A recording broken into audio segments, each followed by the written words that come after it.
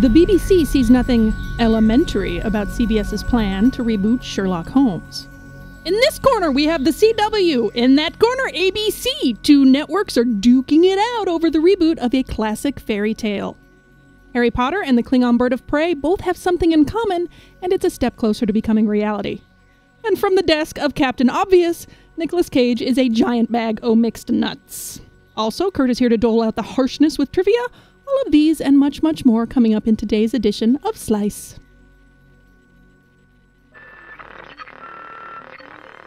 Covering all the news from every dark corner of the universe.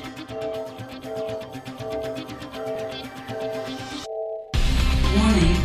Effects of time shifting may occur. This is Dr. Michio Kaku. I'm Peter Mayhew. This is Tricia Helfer, number six from Battlestar Galactica. Hi, this is Colin Ferguson with Sci-Fi Channel's Eureka, and you're listening to Slice of Sci-Fi. SliceofSci-Fi.com. Certain that I've forgotten something today, I'm Michael R. Mennenga. I'm Brian Brown. I'm Sam Roberts. I'm Tim Adamick. I'm Brett Philippek. I'm Treble. And oh, that is that the is cast the of cast characters characters. for tonight. Woohoo! Yeah, yeah, yeah. Well, we're the expanded version this week, aren't we? Yes, we are. I, I have gained four pounds. I do feel expanded. I do. I, I'm- feel kind of bloated, mm. actually. It- it's the winter. I blame the winter. I'm, I, I, I, I know it is. Bad genetics. oh, Shall we do man. some news? Let's Yes, go. please. And now, the news. There's some interesting stories this week. I cannot wait to get to. So, let's go sci-fi, uh, sci-fi to sci-fact right off the bat. So the invisibility cloak took one step closer to becoming reality with news that scientists have cloaked a 3D object standing in free space. Nice. Wow. So, published in the New Journal of Physics, the researchers in, used a method known as plasmonic cloaking. Doesn't that sound like a made up term? It, It does, does. It does. yeah, that's technobabble right yeah, there. and it used they use that to hide an 18 centimeter cylinder cylindric tube from microwaves specifically. Okay. So some of the most recent breakthroughs in the field of invisibility cloaking have focused on using transformation-based metamaterials. However, this new approach uses a different type of artificial material, plasmonic metamaterials. Why the hell don't they just use a cloak and a spell? I don't know exactly, That's man. what Right? I'd be doing. Yeah. That's trust me. We'll talk about Wingardium We, yeah. We'll talk about Nick Cage and his Can- magic can ability. hide- Oh, that's my Can we favorite hide story. From death with this cloak? I'm just curious. No. No. So so the so basically the cylindrical tube was cloaked by a shelf of plasmonic metamaterial to make it appear invisible.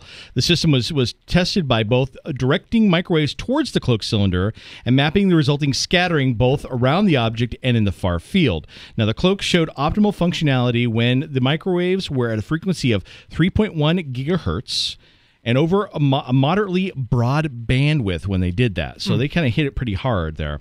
Now, the researchers from the University of Texas in Austin have shown previous studies that the shape of the object is irrelevant. Oddly shaped asymmetrical objects can be Like both cloaked- Brian? Yeah, like me basically. Right. I am definitely all points and angles. so Or my Oh, bird really? I see round parts. yeah, well, yeah, definitely round parts. Uh, round is a shape, right? Uh-huh. Yes. Uh, so moving forward, one of the key challenges for the researchers will be to demonstrate the cloaking of a 3D object using visible light. Yes. Yeah, I was going to say right now all you're doing is basically cloaking cell phones. So Yeah. Yeah, or something that you know. you can create a dead spot for somebody just from uh, uh, that'd be cool. If actually. they could do that with some of my could do clothes so I that. look s- like slimmer, that'd be awesome. no, I think it'd be great to put your hot pocket in it.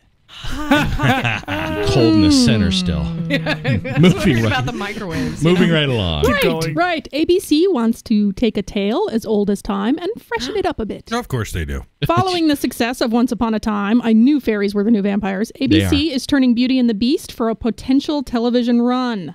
No, it's not a reboot of the series featuring Linda Hamilton and Ron Perlman. Instead, it's a series based on the classic fairy tale.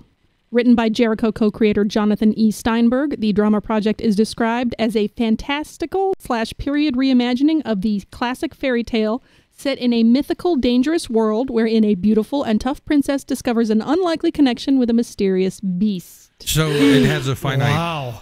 finite length of run then, hopefully. Yeah. Well, you know, they technically all television series do. It is eyed as a potential companion for Once Upon a Time in the Sunday 9 p.m. time slot. The reboot pilot for the 80s TV series is still in the works for the CW. No word yet on if the series might be picked up. It should be interesting to see which series changes its name first to avoid viewer confusion, because right now they're Yeah. both Beauty and the Beast. No, no confusion there at all. Somebody, eh, they're playing chicken right now with it. I'm sure. Well, my thing is, is Pretty it- and the ugly. who cares? Because I mean, y- you want something different with this this standard tales, right? Oh, absolutely. You don't want the same old thing. In fact, we're getting kind of the same old thing again. It's like, Mhm. really? Yeah. Well, they Uh, Call it blood they start out interesting. They start out with some different premise, and then they fall into Oh. The same old same old, same old. Absolutely. And they have It's- such fantastic costuming. Yes, that's good as a beautiful. Well, Right. costuming, uh, you know, it is something. So, uh, why don't we take a quick break, Mike? Because we got some bigger stories, and we're not going to be able to talk them. I so. can Okay. do that.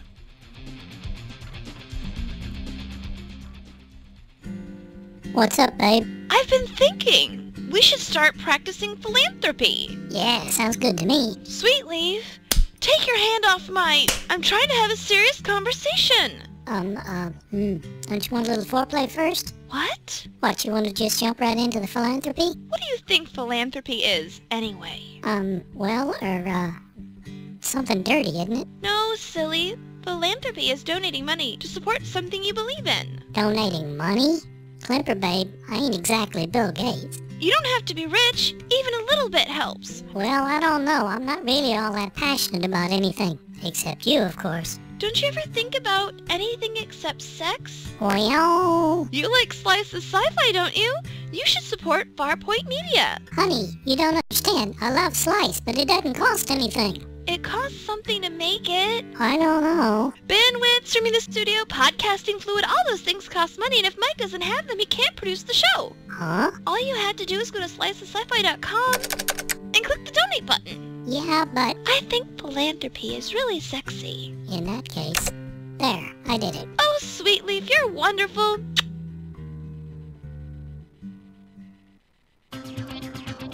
Reactor leak detected. Hey guys, this is Triel. I just wanted to call and say congratulations on your 410th episode. First, I'm a first-time caller. I Wanted to tell you this. Never watch Terra Nova, as you've probably already figured out. My dad Yeah. loves the show. I don't know why. Hmm. Stay away from it. Hold your dad. But, Well, uh, we'll try. congratulations and, uh, see ya. Thanks. Thank That's you. pretty awesome. I couldn't stop watching it. Ugh, Really? I know. I couldn't either. I got to the end of it. I never I managed to did. care. Uh, well, All right, enough. We got news to talk Yes, about. we do. So, stuff. actually, this story's gonna make Brett kind of cry. So, the UK Star. Trek fan who spent ten years converting his living room into a replica of the bridge from the Star Trek Voyager, Tony Alleyne reportedly spent one hundred and fifty-five thousand dollars on the replica. But there's one small problem: he doesn't own the flat he converted into Voyager. Yes. yes, it belongs to his soon-to-be ex-wife, who has decided she wants to sell the flat as part of the divorce proceedings. Oh no. And that means that Tony will have to dismantle the Voyager bridge, which includes the high tech bathroom, voice activated blue lighting, air conditioning, a command console, and even his own transporter room. No I'm sorry. they're getting a Tragic. divorce. High tech bathroom? I wonder. yes. What do you? You got to go in the 24th Is, century. is there a motion activated bidet? Of course. and when It's he a goes, dry does he say, toilet. make it so? I mean, Make it so number I'm going one. number two. make it so. number one. yes. I've Yeah, done right. number two. Right. Toilet paper, quilted, extra soft. Yes. Wow. But it's mean. Uh, so poor Tony says this. He said, to say I'm gutted is an understatement. It's my life's work. Dude, you need a new life. And it looks like it's going into a skip. Uh, I admit there were tears. skip? Yeah. Yeah, it's going, going on the Wow, wow. trash. That's such a bummer. I'm gonna go raid that trash can. I'm telling you right now. All right, get your ticket, Dumpster, I'm dumpster diving. If you've not yet seen the BBC's updated version of Sherlock, you've missed a Oh. treat. Oh yeah. No kidding. Indeed. The It's first season is currently available on Netflix streaming as well as DVD and Blu ray, and the second season will air in the U.S. later this year. Yay. Produced by Steven Moffat, the series has won acclaim and fans on both sides of the pond, so it was probably only a matter of time until a U.S. network tried to emulate that success. Oh, yes, that's right. CBS is planning to try with a pilot called Elementary that brings the story of Holmes and Watson into modern times. Elementary, get it? Yes. Ah, that's so funny. Never. According to the UK's The Independent, Sherlock producer Sue Vertue says Vertue, yeah. Vertue says her team was approached by CBS about creating an American version of the show, but then the network turned down the idea. Then along came the news that this new version was in the works. Hmm. Hmm, imagine according that. To, yeah, according to Vertue, the timing seems like more than just a coincidence. Sources indicate the BBC is considering a lawsuit to keep the series off the air Do because it. they feel the Americanized version could impact the ratings and worldwide sales of the BBC version. Please, can I Yeah. get on that bus, please? Yes. I, don't mean, see how they can. Sherlock Holmes is open to public participation domain. across the world, we've got guys. we've got uh, we've got it house. We don't need ex- this American version. Yeah, I know. That's their that's our American version. We've done it already. It's pure. It's brilliant. It's beautiful. I know. I know, and I, agree. I love it. I'm just Yes. saying, I'm, how do you get better than the batch? You don't. You don't. can't. Just don't even try. CBS, go elsewhere. Yes. And your title Go ruin something else. Mm, actually, the title is kind of clever. But Oh, But it's- but it's- kind of an lame. obvious pun. Oh. Yes, exactly. I love obvious puns. You hate them, Sam. So. Exactly my there point. not so funny. Just call it Holmes. Holmes, yo. yo. It's a gangster actually retelling. right. Set in Harlem. Moving There right along. Moving along. You're both cut off at this point. A couple weeks ago, we said scientists would find a way to bottle the energy in one of Joss Whedon. We'd sell it for an energy boost. Now, to that list, we should also add Stan Lee, folks. Oh my mm-hmm. goodness, yes. So, Oh, yeah. at the age of 89, Lee is about to show no signs of slowing down with the news. He's launching his first ever official website later this week. What? Really? Yes, set to go time. live on February 7th. TheRealStanLee.com promises exclusive scoops on Stan's latest projects, behind the scenes looks at the worldwide events that he will attend, and games, contests, of course, all of that stuff and more. I love that man. Now, if you're listening to this as we record tonight, you go out there and click and register yourself. Now, here's the thing you may get all who register will receive an invitation to a QA with Stan, which, of course, will be hosted by a mystery celebrity on the site's official launch day. Okay. So you They automatically totally get have that. To, they totally have to do that with Pam Anderson. That would be awesome. That would be awesome, That actually. would be cool. So, and also the site promises there will also be prizes for those who pre-register as well. So, there you go, folks.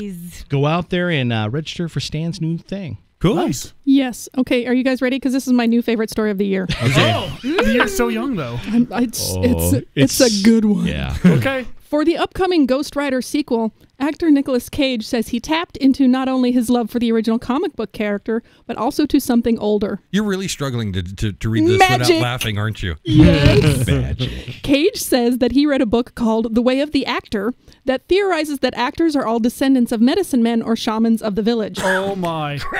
Wait, wait for it. Wait, it's better. Trust me. Cage says these shamans would don costumes and go on flights of imagination to solve problems in the village and that they might appear to have magical powers. Okay. Right, due to Yeah. the drugs. Yeah. For his for his role in the Ghost Rider sequel, Cage says he tapped into that as well as painted painting his painting himself with black and I'm quoting with black and white makeup to look like an Afro-Caribbean icon called Baron Samedi or an Afro New Orleans icon who is also called Baron Saturday. Cage also sewed magical trinkets into his leather jacket he wore while filming scenes in Spirit of Vengeance. I'm quoting again. I would walk on the set looking like this, loaded with all these magical trinkets, and I wouldn't say a word to my co stars or crew or directors. I saw the fear in their eyes, and it was like oxygen to a forest fire. I believed I was the Ghost Rider, he says. I that was after eating guy. a pound and a half of peyote. I love this guy. I hate him, and that's my favorite story of the year. Dad, I love this guy. He's- I love the crazy. That's and awesome. suddenly the castles and the shrunken batch. heads all seem very It normal. makes it makes perfect sense. Oh, sense. to be rich and bored. yeah. yeah, he's not rich anymore. He's Oh, in yeah, trouble. I remember Let me he sold Go- go. Get Yeah. this Tim, straight Tim. here. Yeah. Okay. So in order to connect with his inner actor, he donned blackface? Black and white face. Black and So white. he looked like Baron That's taking Samedi. method to a whole new level. Yeah. That's I- taking That's meth. taking meth to a whole new level. exactly. No, that no. makes me so happy. It's more like peyote because that's what medicine man would eat. You know, Yes. honestly, it sounds like He's he's talking about alchemy, and alchemists used to eat mercury for crying out loud. Maybe- That's Maybe very does. possible. Maybe with he was It's the only eating metal lead, that's not crunchy. lead paint. lead paint. I don't know. chips. Uh, do we have time for any more stories, or should we just? One more, real quick. Okay, let's talk about this one. Uh, let's talk about the the, the uh, e- Evil Dead news that came out really Oh? recently. So Lily Collins has decided that she will not be part of the Evil Dead reboot after all. Oh, The young Oh. actress ha- was offered the lead role in the upcoming eyebrows. reboot of the Sam Raimi classic and has decided she will drop out of the project, according to the Hollywood Reporter. Now, she said Collins had the offer and was in talks to star as a young woman trying to kick a drug habit when demons from far scarier addiction rear their head. Now, the deal broke down because scheduling interests. Oh, Scheduling issues, problems, problems. Uh, me, I say that's a very convenient excuse. That's like creative differences, or um, uh, Right. putting irrecon- you know, putting what Irreconcilable irreconcilable differences. on the divorce papers. Yeah. It could mean Gotcha. anything. Yep. Yeah, the, the scheduling was probably due to when the paycheck was going to arrive. Something like that. All right, do we have some trivia? Trivia time. All right. All right. Put on your thinking caps, kids, and play along with the gang. Hey, it's trivia time! Well, hello, Slicers. This week's trivia comes to us from Robert Marsh in the UK. He said these are TV shows he grew up watching in the United Kingdom back in the 1970s, but I only know that one of them was ever shown in the US. Here comes our first clip, and uh, I'm just going to play you some character voices to start off. Oh! Monty Simon? Python. Simple Simon. Uh, Simon. Simon draws does drawings. Okay. Uh, Here's a longer version. hello, my name is Simon. and I like to do drawings. Simon and the chalk drawings. Simon and the chalk drawings? Yes. Look, I am right about this. Drinking the soup. Straight out of the soup. Maybe. It mustn't do that. Sounds like my stomach after a little too much pizza. Oh. Okay, maybe not. Did, did some of that peyote show up in the studio? Yeah. Oh, it's Ghost Rider with walks Nicolas away. Cage. I have no clue. Okay, this voice oh. Yeah, was wrong. the Iron Chicken, and this character was the Soup Dragon. Finally, these guys Okay. Okay, are Clangers. Clangers was a popular stop-action animation show. It ran from about 1969 to 1972. The writer and narrator was Oliver Postgate. now, unfortunately, uh, the DVDs are only Region 2, Region so you 2, either need to find a, a region-free DVD player or uh, look on the internet Yeah, uh, sure. to see if you can find some of the uh, aired the Clanger episodes. Wow. Okay, get ready. Here comes our next clip. I She wrong. says funny things. Happy day, boys. Happy day, Mrs. Warner. That's because she's not a happy one. What's a happy one? Someone who's happy, of course. Yeah. bruh. Stumped. No clue. And the longer version. Why were you staring through our window? I heard you were coming. What? New people. We need new people here. Why? We've got to stick together. My trees. Who's she? Early Harry That's Potter. Sandra. Her mum looks after the museum. It's that British show, isn't it? Yes, I know. She says funny What was your things. first clue? Happy day, boys. happy day, Mrs. The background Warner. noise, the That's Foley's she's not as good as it one. hears in the U.S. What's a happy one? Someone who's happy, of course.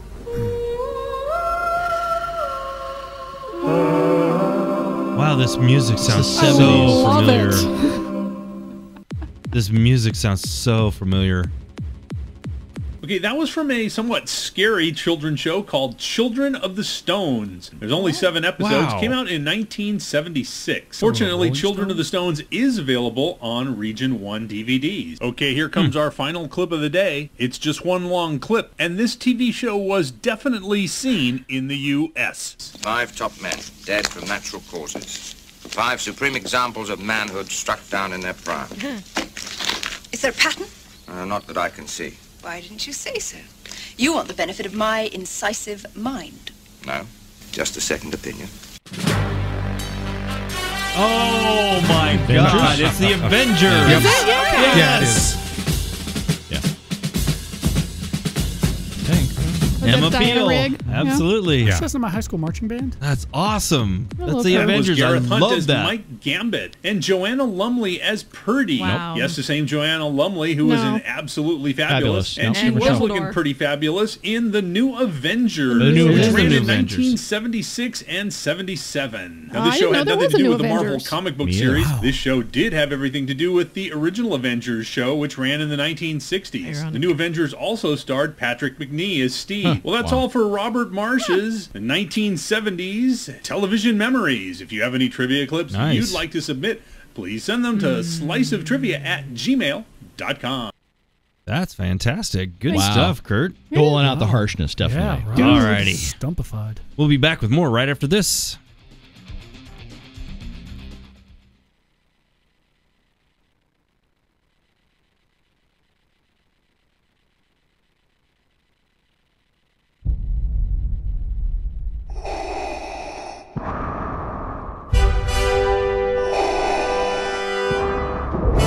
Greatest saga of all time is coming to the big screen in spectacular 3D.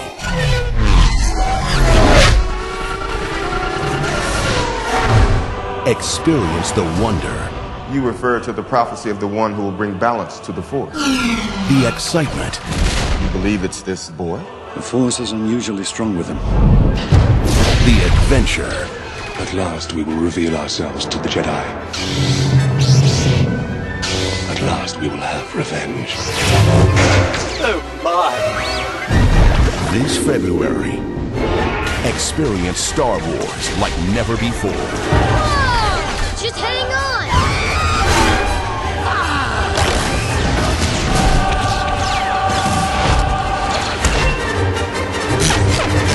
on! Wipe them out. All of them. Star Wars Episode 1 The Phantom Menace 3D. Only on the big screen, February 10th. System ready.